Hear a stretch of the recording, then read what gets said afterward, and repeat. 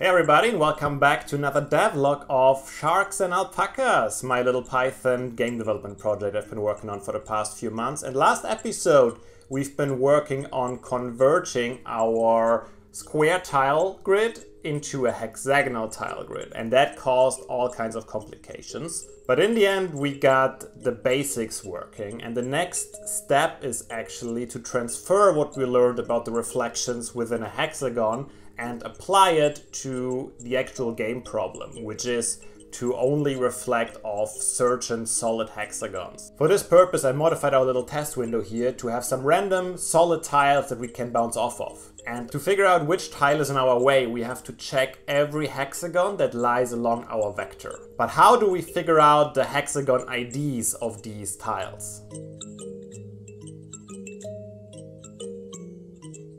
One common approach for this is raycasting. Instead of having just a whole vector on the field, we chop it up into little pieces and move stepwise along our vector and at every point we figure out which hexagon ID it crosses. Just as a side note, ray casting and ray tracing are almost identical techniques, so all the same concepts apply to both.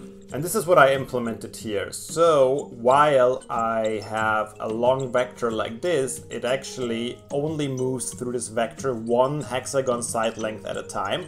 And you can see if it would reach the next hexagon, it finds the intersection point of that last hexagon and then we can reflect off that only if it is a solid tile, like we can see here. This approach works alright, but it has some flaws. Namely, once again, the edges of the hexagon, like in this example, causes a problem if the point we checked is right before the edge and the next point is right after the edge. So if we cross the hexagon substantially, it will detect it.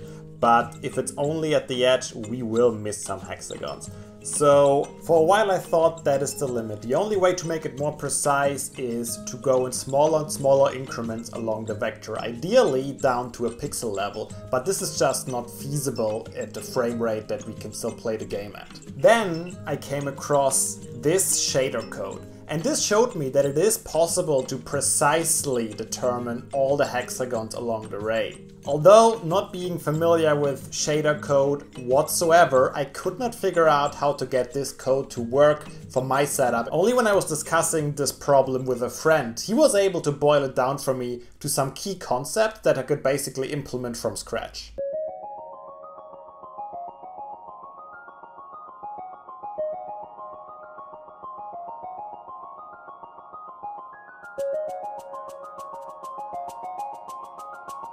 Step 1. Figure out which edge of the current hexagon is being intersected by the vector.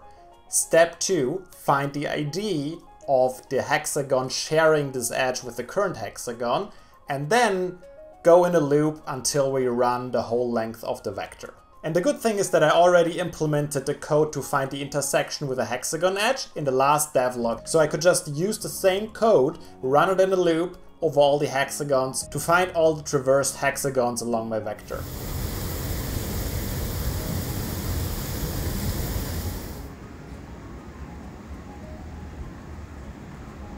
This is the code implementing that, going along the vector and finding all the hexagon IDs, and there's at least one trick I learned from the shader code, and that is if I take the dot product of the normals of the hexagon edges with my vector, I can actually cut the number of edges I have to check in half.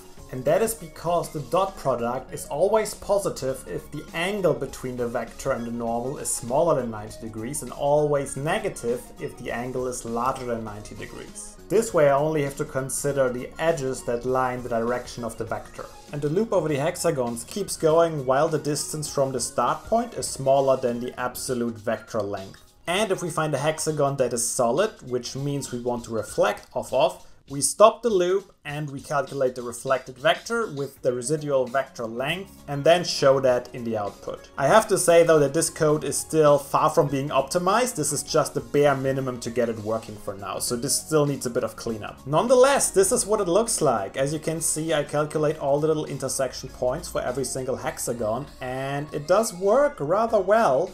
And of course, as soon as we hit the solid tile, this one in this case, we get the reflection. but this also works if the tile is much much further away, even all the way back here. So I'm really happy with how this turned out and I think this is almost what we can implement. Of course, reality is still a bit more complicated. For example, what happens if we hit another hexagon with the residual vector length after the reflection?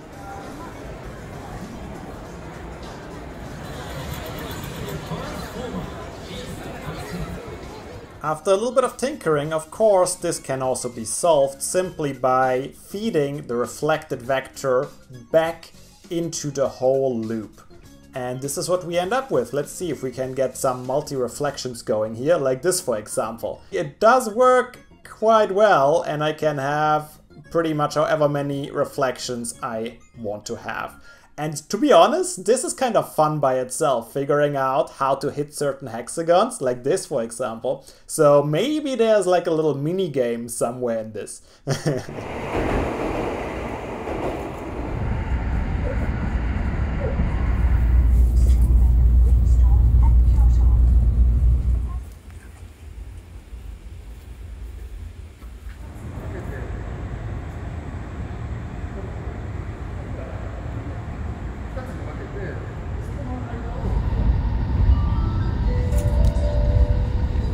few more days and another work trip passed and I have reworked the code, cleaned it up a bit, put everything in a function, took care of a lot of the edge cases and I think it is ready now to finally be implemented into the actual game code. But before we do that, I want to give you guys just a quick overview over the cleaned up code in case you run into similar issues. So here's our raycasting function. We just put in our XY position, a vector, a list of all the hexagon edges, and a list of all the hexagon heights. We calculate the absolute length of our vector, define all the normals, all the hexagon side IDs, and all the directions across the cube coordinate system.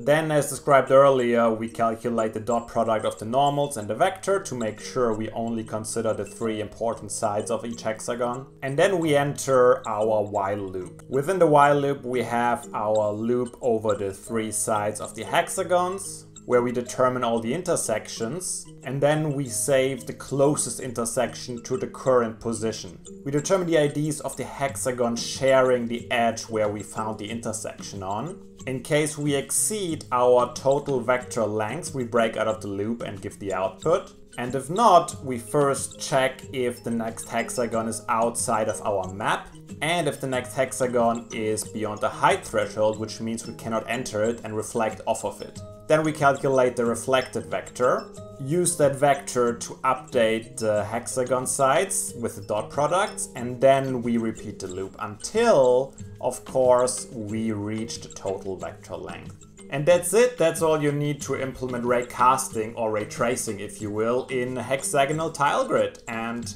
it took me a long time to figure this out, but I'm happy that I did now, and let's get it inside the game. And here we are, raycasting function in the game. It was relatively straightforward since we already did all the work externally, so it was a quick copy paste, adjust some variables, adjust the code around it a little bit and delete all the other movement code. And now if we start up the game, we see that we don't see much, but the alpaca and the sharks both now use the raycasting to properly reflect off and bounce off land tiles or water tiles respectively. Oh, this one was lucky, huh? Alright, with that I think I can conclude the conversion to the hexagonal grid and we can go back towards implementing gameplay features in the future. Alright, I hope you guys found this helpful or at least interesting. And I hope to see you all again in the next devlog of sharks and alpacas. Bye bye.